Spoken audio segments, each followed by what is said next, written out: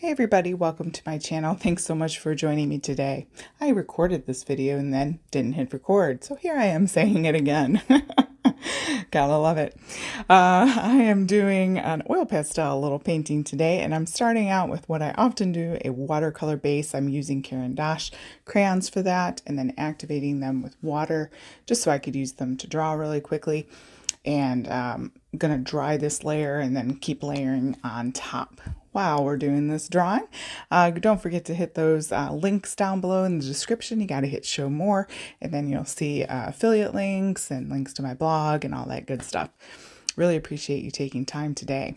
Going in with some color pencil now, trying to give some more definition.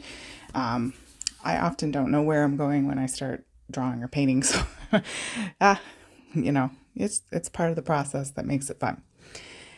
Now I'm going in with my oil pastels. I think I've got a mixture there of some creamy uh, newer Paul Rubens, and then I've got another one that I can't remember the name, and I'll have to remember to put the link below.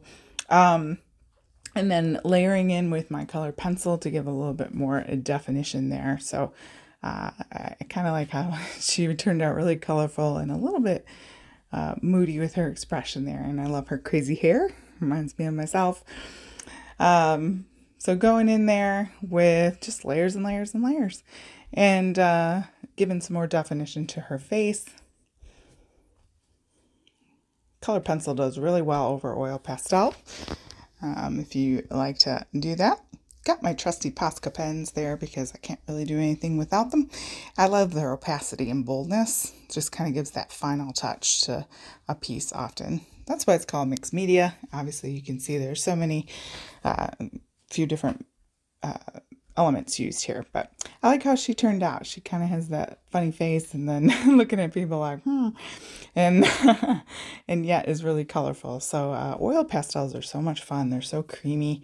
They just have that um, really, uh, it's just a satisfying uh, medium to work with. So I hope you try them out. All right, guys. I hope I'll see you in the next video. Thanks so much for joining me.